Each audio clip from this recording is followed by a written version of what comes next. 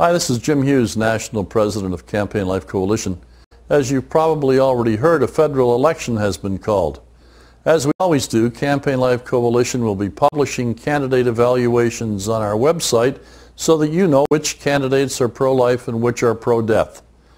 There's nothing more important this election than making sure you vote pro-life. Granting legal protection to unborn children is the civil rights movement of our time.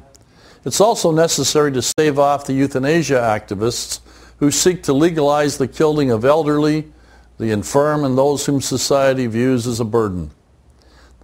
Go to elections button, the elections button on our website. There you'll find voting records, quotes from the candidates in their own words, and very importantly, whether CLC rated the candidate as pro-life or pro-abortion. We ask for your assistance too in another way. If you notice a candidate or MP on our website who has not filled out CLC's questionnaire, please ask the individual to fill it out. Then return the answers to us. Another very important way to cooperate with our political action work is to attend all candidates meetings with a camera and a friend. Then try to ask the candidates if they support the legalized killing of unborn children by an abortionist.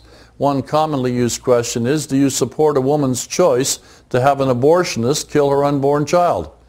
When you ask the question, have your friend film the entire thing, then get the video to us right away so we can post it on our website for all voters to see.